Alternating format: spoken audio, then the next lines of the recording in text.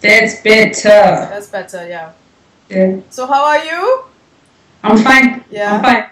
Yeah. Zanel Mholi, reporting direct from Switzerland. In, at, uh, I'm attending Art Basel, where Faces and Faces will be, now. Mon projet Faces and Faces va se montrer à, à Switzerland. Show. Le vernissage euh, a été hier de l'exposition et euh, l'ouverture euh, de la même euh, c'est cet après-midi. Alors, raconte-nous un peu autour de ces, ces projets de Faces and Faces.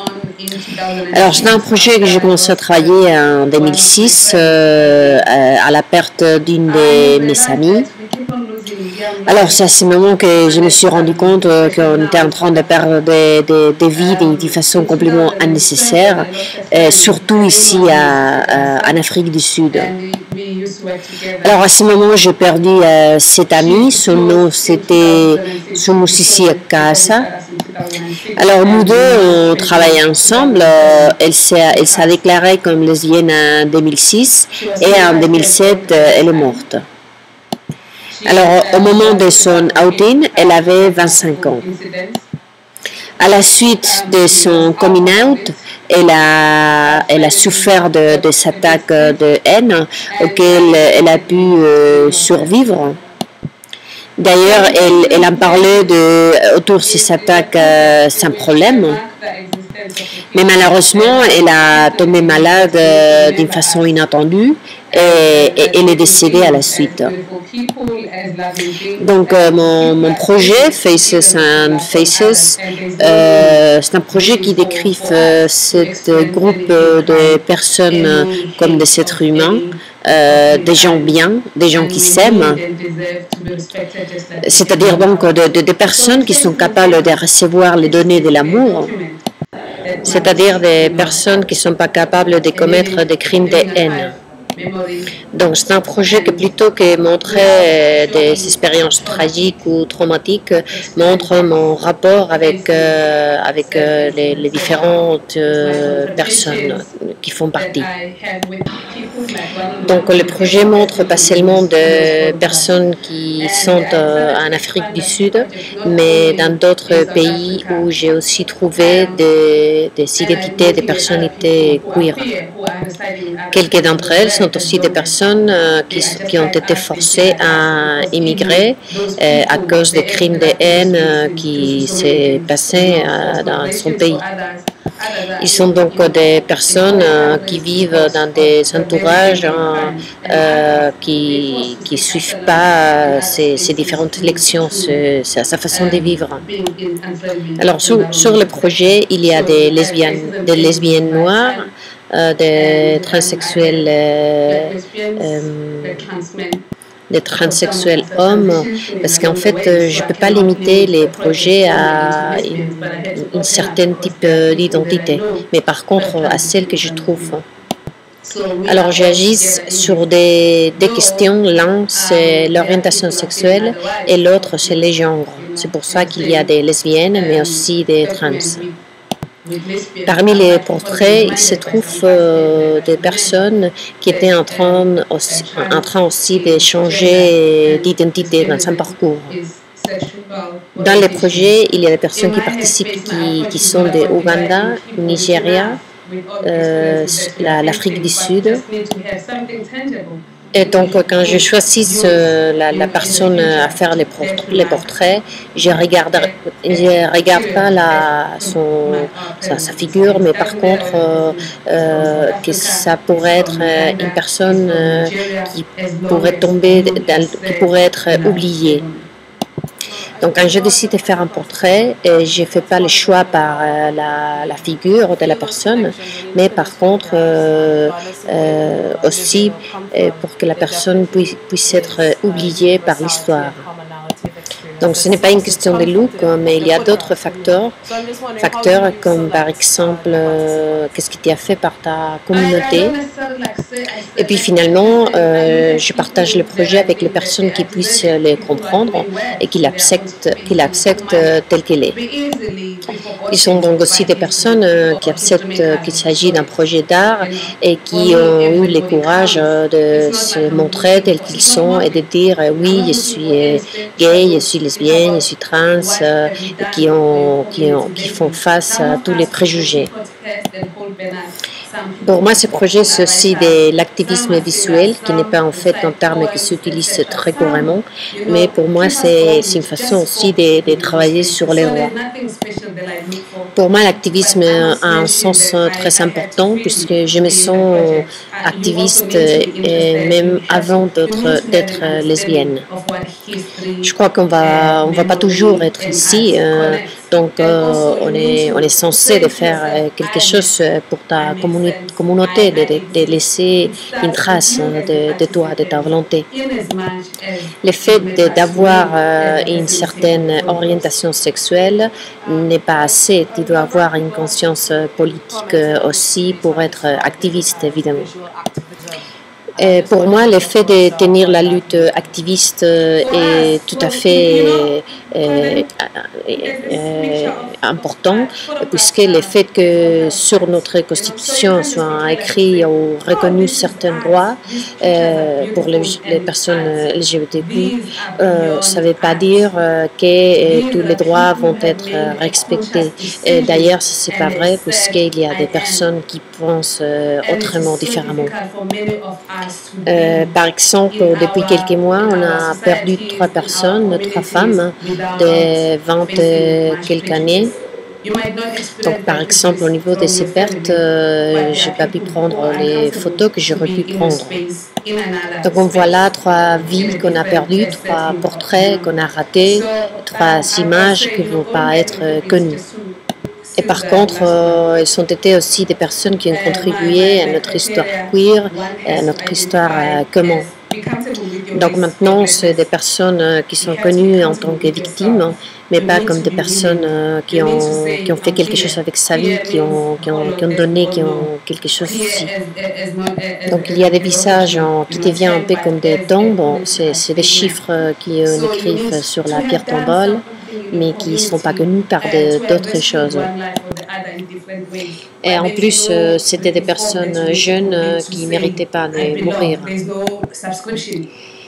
Les photographes, déjà, c'est des artistes qui ne sont pas tellement connus, mais en plus euh, des noirs, euh, beaucoup moins. Euh, je connais Kang qui a, qui a, publié un livre parmi une cinquantaine d'autres qui ne sont pas noirs et qui sont par contre plus connus.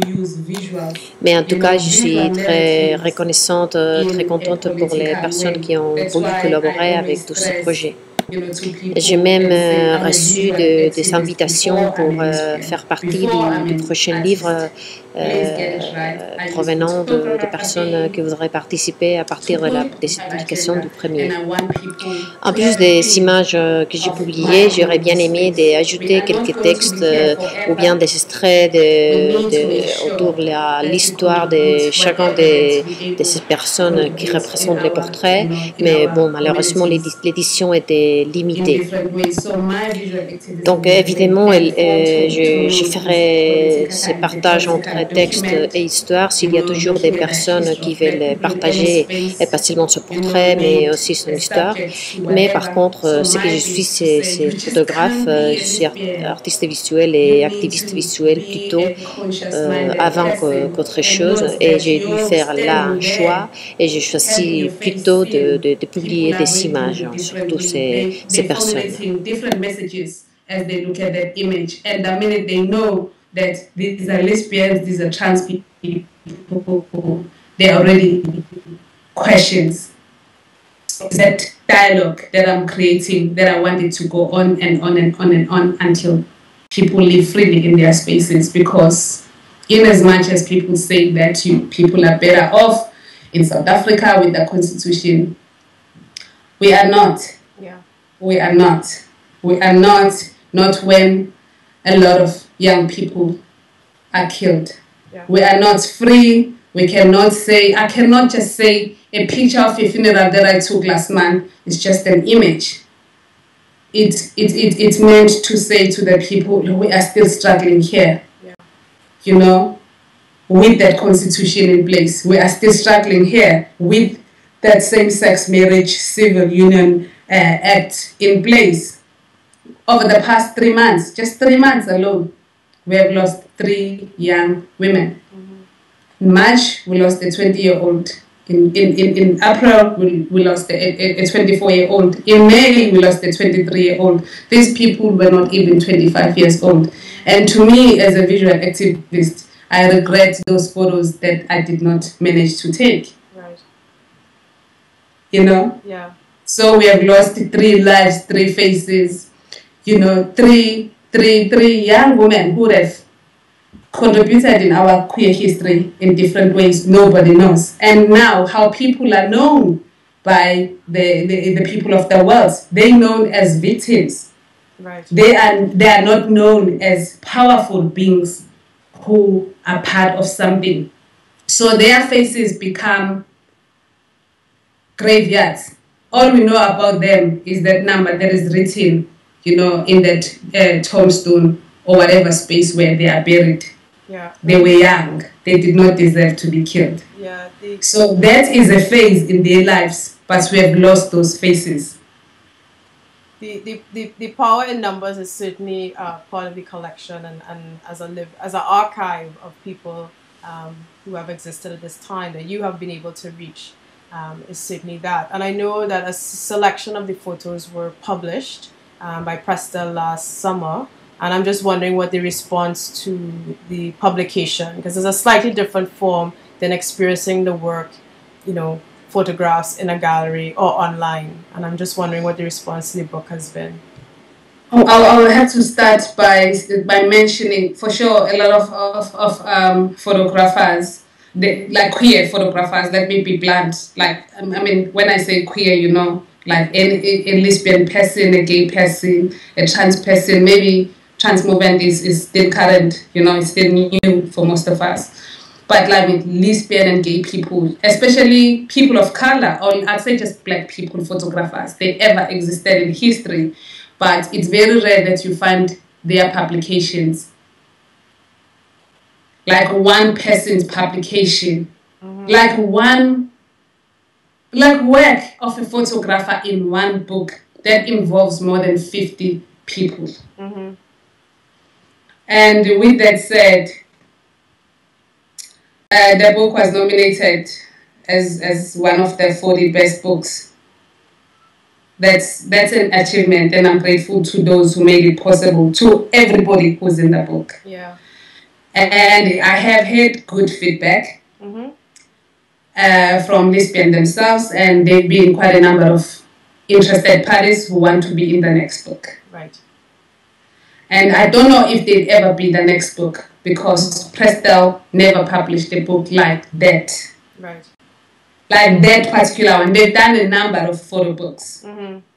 but to have a, a black queer book that was their first Right. And i'm hoping that they will publish the current series of faces and phases that i just did from 2010 up to 2011 um, I, I have heard some comments from other black lesbians about the lack of textual content Uh-huh. The stories, people And- want to hear the stories. Exactly. And I fully agree with that and respecting whatever comment that will come my way. Um, I'll admit, but it's very rare for people to understand uh, the position that one is at. I have done my first part, and I had to explain that to have the second part, you need to have an interviewer you need to have a person to transcribe. You also need to have additional pages. Yeah. So I was given an opportunity to have photos published.